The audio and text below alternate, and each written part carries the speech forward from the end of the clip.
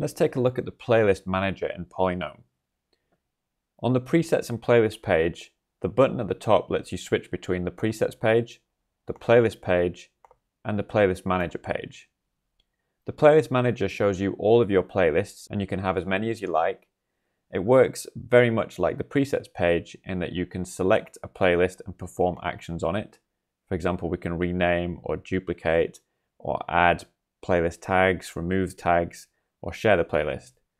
You can perform some of these actions on multiple playlists by clicking the edit button at the top, selecting the playlist you wish to perform the actions on, then clicking on the actions button. To load a playlist, simply tap on it and then hit the load button. You'll see that this particular playlist has a length associated because the songs in it have lengths associated with them. If we go back to the playlist manager page, you'll see that you can actually sort by length. So these ones at the top have a length associated with them.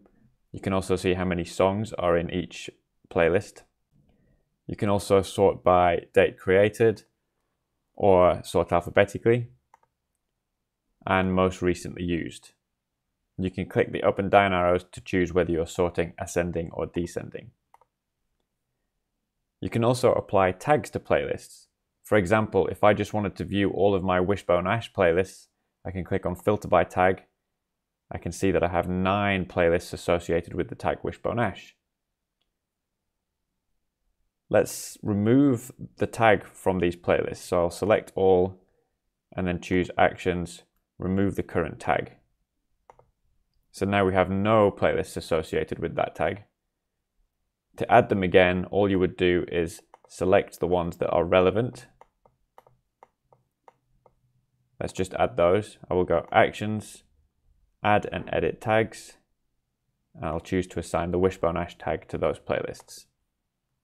Now when we filter by tag, we can view those three. We'll click this row or the flashing tag to go back to viewing all playlists. You can also create a blank playlist from in here by clicking the plus button at the top.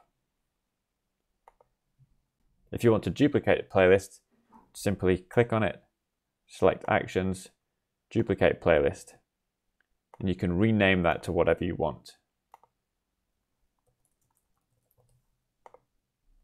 Finally, you can use the search bar to search for the playlist that you want. Click on Load to load it. That pretty much covers the playlist manager.